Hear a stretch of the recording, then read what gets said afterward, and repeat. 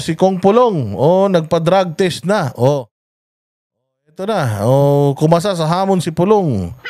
At nagpa-drug test na. Alam mo ba, banat ba kung saan nagpa-drug test si Pulong? Nagpa-drug test si Pulong dyan sa may Pioneer Center, sa may high precision. Sana man lang nagpunta tayo, nakita man lang natin siya, no? Hindi ba? O ito, pakinggan natin tong balitan to. President Sara Duterte na magpa-hair follicle drug test si Davao City 1st District Representative Paulo Duterte. Pero para kay Congressman Pulong, may ilang kongresista na aatras sa hamon ng bise. May pabirong patama naman ang mambabatas laban sa nagpapatuloy na Qualcomm hearing.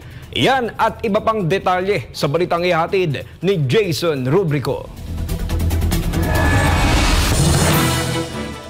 Sumailalim sa hair follicle drug test si Davao City 1st District Representative Paulo Pulong Duterte nitong araw ng Miyerkules sa Mandaluyong City. Kasunod yan ang hamon ng kanyang kapatid na si Vice President Sara Duterte Tingnan nyo naman, hindi ba alam nyo ba na ito si Pulong, yung tatay nila Migs?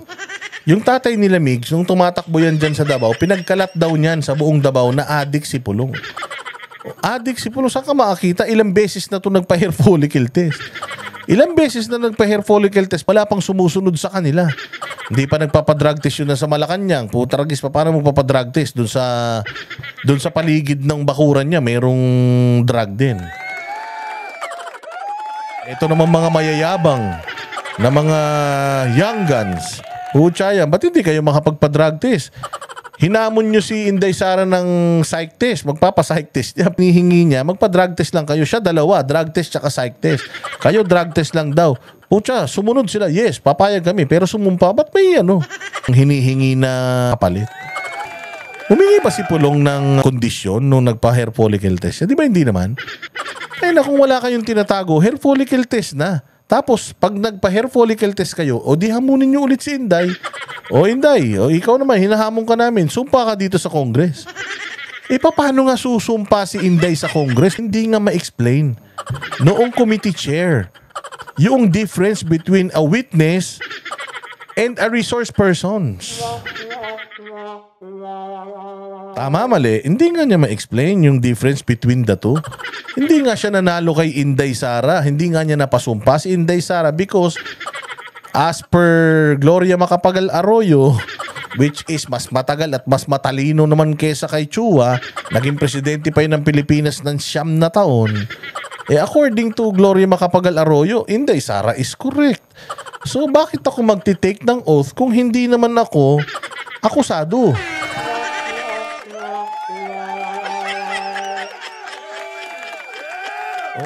Magpa-drug test na kayo. Wala nang kundi-kondisyon. Kung feeling ninyo negative kayo, wala nang kondisyon. Take nyo kagad yung ano, yung opportunity para mapatunayan sa sambayan ng Pilipino na hindi kayo mga adik. Oy, by the way, ha, yung mga ano, yung mga party list na yan, one rider party list. Yung dyan sa La Union, oh, pagka hindi nagpa-drug test, yung mga congressman nyo, Huwag nyo nang iboto yung mga yan. Ibig sabihin, pag di nagpa-drug test, positive. O katulad nung nasa Malacanang, matatapos na yung termino niya sa 2028, hindi man magpapa-drug test yan. Alam niyo kung bakit?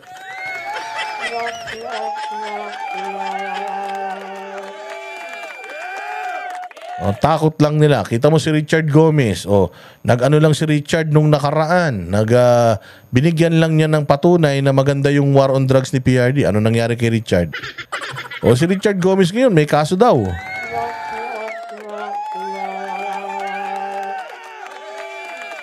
Yari. para sa mga kumakandidatong kongresista sa 2025 midterm elections. Kahit kaninong challenge, as long as may buhok pa ako, lalo na yung mga young guns ng Congress, ibigay ko na kahit burnik ko. O, yun o. O, mga young goods, puta hinahamon kayo ni Pulong. Ano na? Alam nyo ba na si Pulong lang ang naglabas ng kanyang, ano, ng kanyang ah, ah, assets and ano, yung, ay hindi, naglabas nung, kan- open the book ba? Nung ah, audit ng kanyang opisina, inilabas ni Pulong, puta. Eh kayo bang mga young goods, kailan nyo ilalabas yung sa inyo? O si Pulong, nagpa-drug test na. Kayo ba? Kailan kayo magpapa-drug test? Oy, grabe ah. Ayan na yung party list nila. O, yung PPP, oh. O, party list ng Pilipinong Pangdagat. Hindi, pwersa ng Pilipinong Pangdagat yung PPP, ah. Kala Pulong Duterte yan. Kaya, suportahan natin yan. So putya pati daw burnik. Alam niyo ba yung burnik? Yung buhok yun sa puwet. Putya ako nga bilang na bilang ko yung burnik ko kung ilan eh. Babawasan pa nila, Diyos ko po. Kung ikaw kandidato ka at wala kang tinatago, ba't di ka magpa-drug test, di ba? To show to your constituents na malinis ka. Nagpa-drug test din sa Davao City ang makakalaban ni Congressman Duterte bilang representante ng unang dirito ng Davao na si PBA Party List Representative Migs Nograles. Yan ay matapos siyang hamunin ni Pulong. para sa accountability to, para sa trans- Anong drug test? Baka naman ano yan. Kung yung drug test na ihi-ihi lang ma'am, hindi pwede. Dapat ano, dapat hair follicle test din. O wag yung ihi-ihi lang ma'am. Kasi pagka ihi lang, putya kung mga 6 months ka nang di bumatak, di na makikita yan sa ihi mo. Pero putya kung sa buhok mo, oh, alam nila kung kailan ka nagsimulang bumatak. O ganun yun. transparency to. And uh, we are just doing um, what people want to see or know. Ikatlong beses nang nagpa Ano, nagpabuhok ko. Ba't si Migs? Hindi buhok. Ano ba yun? Baduy. Baduy, dapat ganyan din. Dapat hair follicle, hindi yung hindi yung ano, wi wi wi wi. Wala kwenta yun. Dapat ganito. Kasi yun nga sinasabi ni Inday. Dapat ngayon din. Oo. Oh, ay, hair follicle din ba yung kanya? Two weeks ang result. Putang tagal naman. Two weeks ang result. Ang bilis-bilis lang na resulta niyan eh. Mhm. Ah, anyways, eh, ba- pero kung, totoo ba? Na hair follicle din. O kung hair follicle din si ano si Migs Nograles, very good para para magkaalaman na talaga. Dapat ilong ang itest if silicone or cattle. Eh, kahit naman pagawa niyan tatlo butas nung ilong niya, banat bay okay lang yun. O basta hindi lang sila mga addict, di ba? Ayan nga, o sige, o diretso. hair follicle drug test si Congressman Pulong. Una ay noong hinamon siya ni dating Senador Sonny Trillanes at ang ikalawa ay nitong Agosto ngayong taon matapos siyang maghain ng panukalang batas kaugnay sa mandatory drug testing para sa mga opisyal ng gobyerno. Pero ayon kay Congressman Pulong, hindi lang dapat drug test ang basihan para iboto ang isang kumakandidato. Huwag lang yung drug test lang ang tingnan ng taong bayan. Siyempre, titingnan din ninyo yung kapasidad ng kandidato at yung mga accomplishments niya while serving their constituents. Sa tingin naman ni Congressman Pulong, may mga kongresistang hindi kakasa sa hamon ng pangalawang pangulo. Sa tingin ko, sa tingin ko, alam nyo na yung sagot. Magpa-drug test na lang sila. Para magkaalaman na. Imposible naman wala silang pera pang drug test.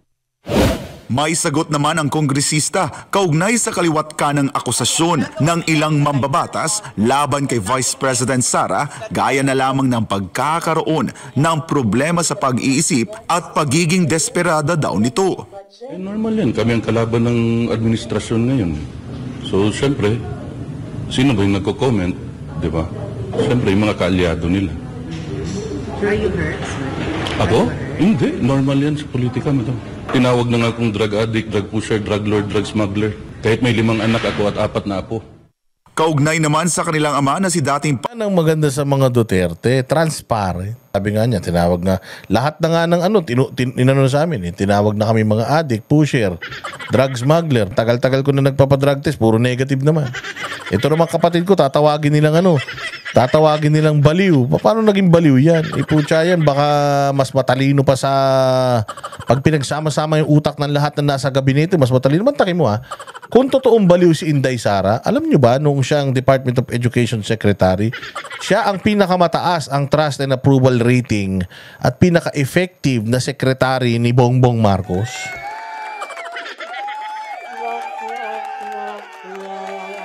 Sige, sakyan natin yung mga sinasabi ng mga vloggers ni Bongbong na mga tanga. Sa, sige, sakyan natin. May tama, may topak nga si Inday Sara. Tayo na partida, may topak na. Hindi nyo pa rin tinalo.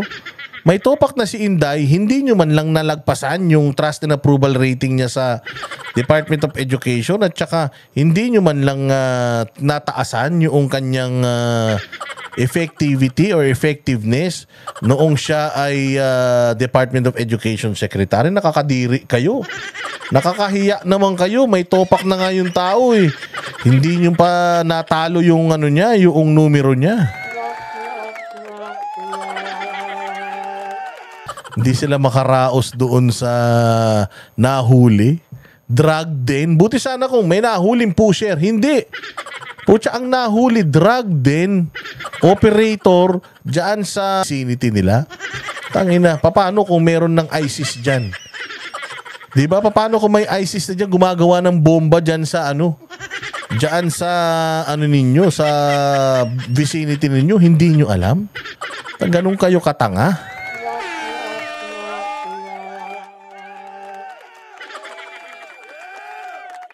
O, sobrang engot. Pangulong Rodrigo Duterte, tututukan daw nito ang pangangampanya bilang mayoralty candidate sa Davao City. Kakampanya raw siya, pero sinabihan nga namin na mga piling barangay na lang na hindi na pwede lahat ng barangay ng Davao, 182 barangays yun. Kung gusto niya umakyat ng bundok, sinasabihan namin hindi na pwede. Diyan na lang sa, siyempre, diyan na lang sa downtown or at least makita lang siya ng mga tao.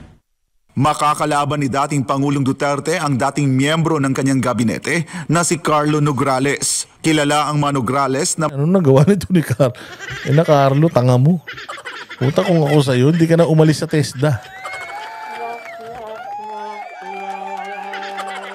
matagal nang katunggalin ng mga Duterte sa politika sa Davao. Sabi rin ni Congressman Pulong, bagamat itinutukoy Pucha, kamukha ni Hanilit si ano.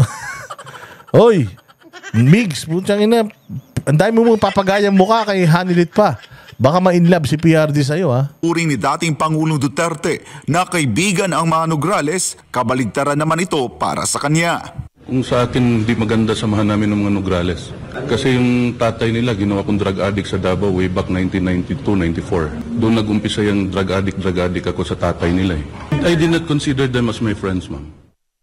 Patungkol naman sa nagpapatuloy na Quadcom hearing sa war on drugs ng Administrasyong Duterte, may pabirong patama ang kongresista laban dito. Gusto nyo malaman kung magkano sila per hearing? Kausapin mo na ako. Ha? Wag na, joke lang yan. Ay, ako nga. ikaw talaga pulong, ha? Macho, ma- macharot ka din, ha? lahat ng hearing yan from Senate to uh, sa House, lahat. Bayad yan. Ay, bayad. Matatandaan na sinabi naman ni VP Sara na tatakbo ang tatlong Duterte sa pagkasenador pero ni isa ay walang naghain ng kanilang Certificate of Candidacy Ay, alam ko kung bakit. Gusto niyo sabihin ko kung bakit? It's a sad story. I cannot tell you why. Oo, sa kay Banat Bay ko na lang sasabihin kung bakit. para sa national elections. Sabi niya, wala pa naman talaga, wala talaga yun sa plano ko, no? Ah, kasi may isang term pa nga ako as congressman. Tapos ever since pumasok ako sa politika, hanggang two terms, two terms lang ako. So, yun nga, sabi din ng mama ko na tapusin mo yung, ano, yung term mo as congressman. Pero sa 2028, sir, may plano po tayo to... Wala. So ito second May plano akong mag-retire. Alam niyo kung bakit? Gusto niyo malaman? Sabihin ko na. Kay Banat Bay, sabihin ko baka sakaling madulas siya sa ano niya, sa kanyang mga vlog. Hindi na nagla-live yan eh. Oo eh. Kaya, di ba, sabihin ko kay Banat, ha, pag sinabi ni Banat sa inyo, malalaman nyo. Pero pag di sinabi ni Banat, eh, wala. Ako pa naman, pagka mayroong sinabi sa akin, hindi ko talaga sinasabi. Oo, kaya kasi pag sinabi ko, malulungkot talaga kayo. Kung ako, kung ako sa gobyerno, yung mga taing-tai sa mga Duterte, yung mga praning na praning, takot na takot, kausapin nyo ako. O, tapos tanungin nyo, Boss Dada, bakit ba? Ano ba? Ano ba talaga plano nila sa buhay? O, sasabihin ko para, ah, ah, ganun ba? O, sige, bati-bati na kami ulit.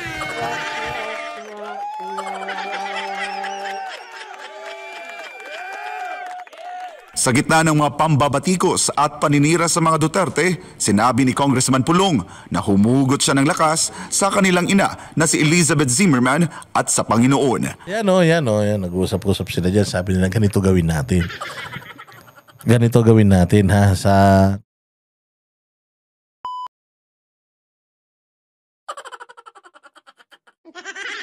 Oh, ganun. Oh, yun nga. Eh, wala tayong magagawa ron. Eh, ganun talaga. Oo. Oh. ganun talaga buhay. Gustuhin man natin. Oo, ano man natin. Eh, wala talaga eh.